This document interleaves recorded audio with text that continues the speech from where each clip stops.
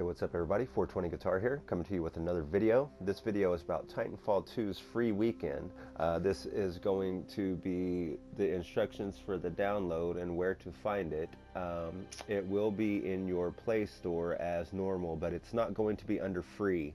It's actually going to be under demos.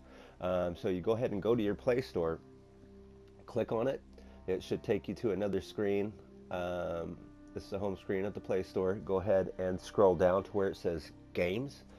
From there, click X. It will pop up another option screen. You go ahead and scroll down to Demos. And when you go down to Demos, you're going to want to scroll over to the right. And when you scroll over, it's towards the end, and you'll see it right there, Titanfall 2. Um, when you click on it before March 30th, it's going to do this. Uh, the content cannot be selected at this time but it will be available um, at like 12:01 a.m. on March 30th, I believe.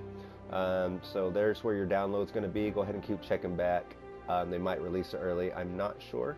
Um, but there you go, guys. There's your uh, free weekend demo and where to find it in your PlayStation store. So have fun, guys. Thanks for watching.